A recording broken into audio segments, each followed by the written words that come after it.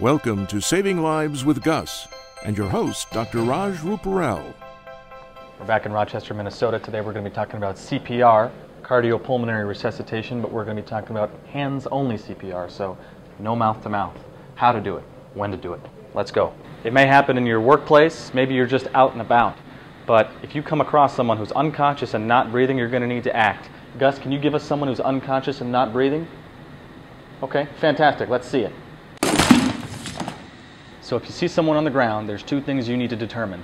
Are they conscious? Are they breathing? Shake them. Ask them their name. If you don't get a response, check if they're breathing. Put your ear to their mouth.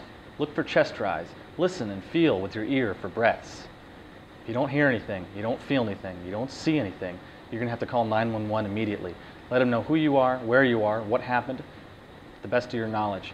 You're going to have to head back and administer high quality, hands only CPR until help arrives. Here's how it's done with your right hand, knuckles up, left hand over top, fingers interlocked, palm of your hand between the nipples on the breastbone, push hard and push fast. Two inches deep at 100 beats per minute.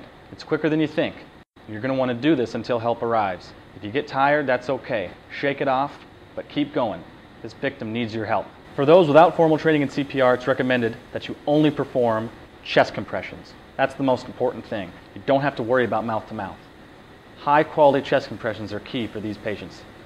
Two inches deep, 100 beats per minute, as we showed. You can save someone's life. Thanks for watching. Pass this on to a friend.